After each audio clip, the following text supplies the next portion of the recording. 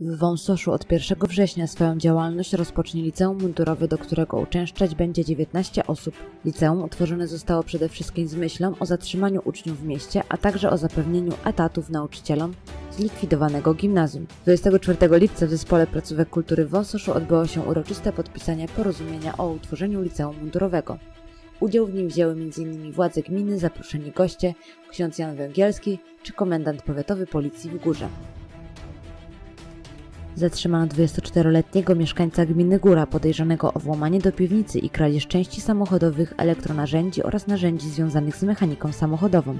Górowscy policjanci zatrzymali również pasera, który przetrzymywał skradzione rzeczy. Mężczyźni staną przed sądem. Joanna Lorenz, zawodniczka klubu sportowego Endorfiny Wąsosz, nie zwalnia tempa. W jednym z najtrudniejszych biegowych wyzwań w Polsce, w biegu siedmiu szczytów, Joanna w 41 godzin i 45 minut przebiegła 240 km, zajmując trzecie miejsce w Open kobiet. Zmęczenie, brak snu, wyczerpanie organizmu nie przeszkodziły zawodniczce z Wąsosza w pokonaniu tej ekstremalnej trasy.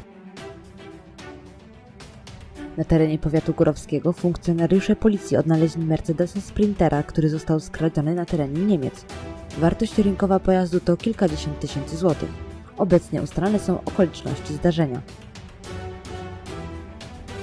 Regionalna Izba Obrachunkowa wydała negatywną opinię o uchwale Rady Gminy Niechlów, która dotyczyła nieudzielenia absolutorium Beacie Ponie za rok 2017.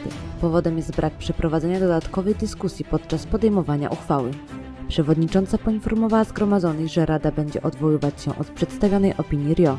Nie wiąże się ona jednak z żadnymi skutkami prawnymi.